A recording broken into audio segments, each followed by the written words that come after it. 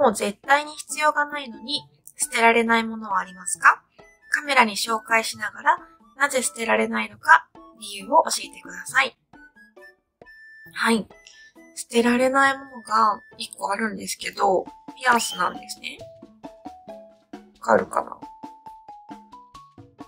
すごい綺麗な青い石のピアスなんですけど、これ実は片っぽなくしちゃったんですよ。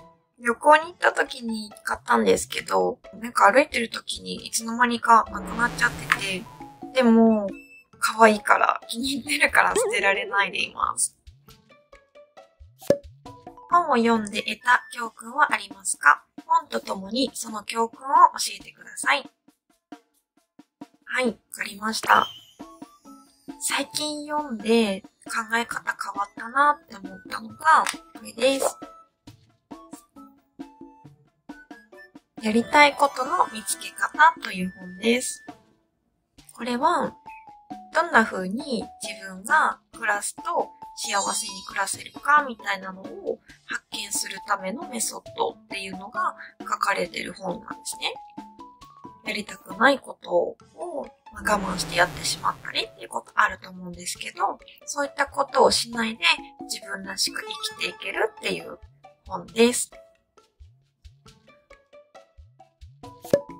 大して感じていないのに大きめに声を出したり、言ってもいないのに言ったふりをしたことはありますか？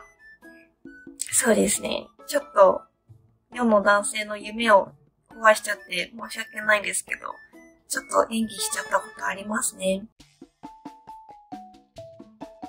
すごい頑張ってくれてるのが分かったので、言ってほしいって思ってると思うので、ちょっと言っちゃったふりしました。でもそれは、相手のことが好きだから喜んでほしくてしてるので、ここはあんまりショックっていう風に思わないでほしいなって思います。